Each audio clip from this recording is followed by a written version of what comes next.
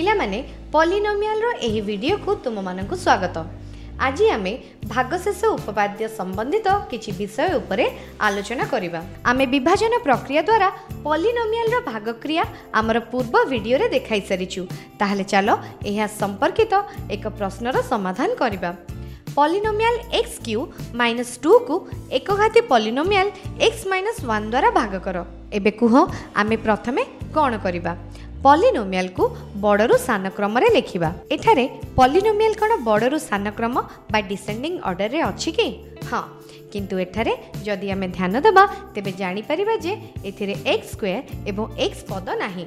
ଏହି ପରିସ୍ଥିତିରେ ଆମେ ସେହି ପଦକୁ ଶୂନ ସହିତ ଏକ ପ୍ରକାରରେ ଲେଖିପାରିବା।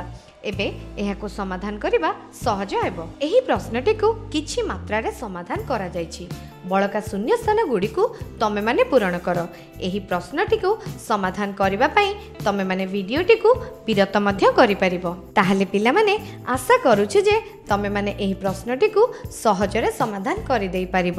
ଏହି ଭିଡ଼ିଓଟିକୁ ଏଠାରେ ସମାପ୍ତ କରିବା ଏବଂ ଆଗାମୀ ଭିଡ଼ିଓରେ ଗୋଟିଏ ନୂଆ ଅଧ୍ୟାୟ ସହ ଉପସ୍ଥିତ ହେବା। ଧନ୍ୟବାଦ।